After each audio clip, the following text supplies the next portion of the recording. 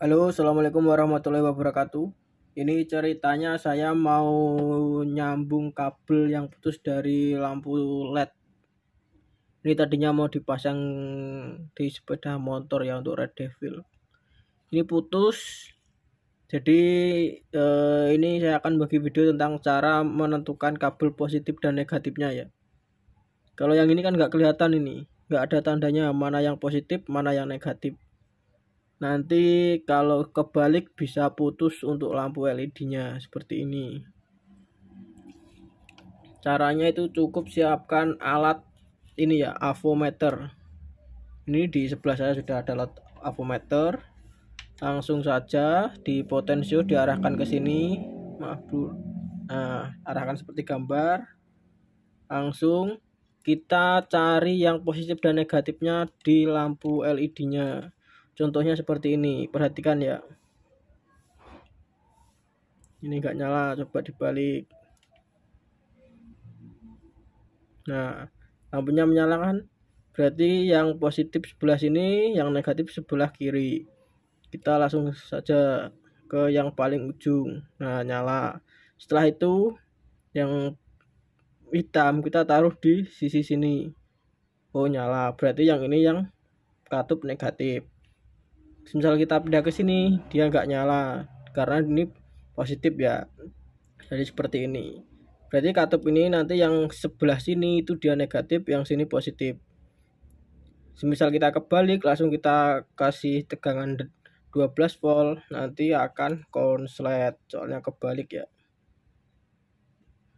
Saya pastikan dulu lagi. Oke seperti ini ya. Langsung saja saya mau solder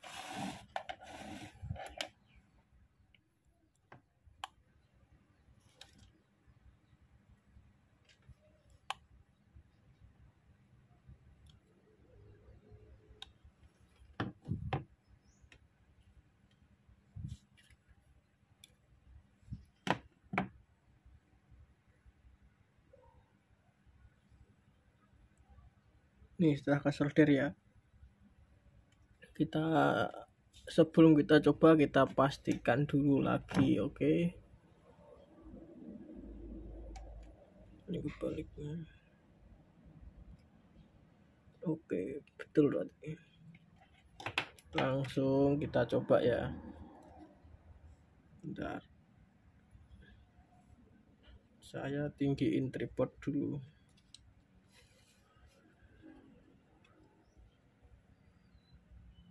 Oke.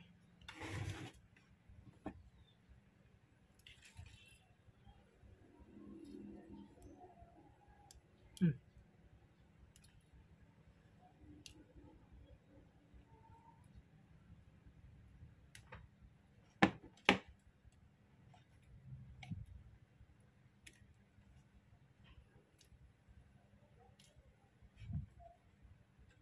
Ini langsung kita coba ini lampunya. Ini yang negatif. Ini yang positif. Positif. Negatif.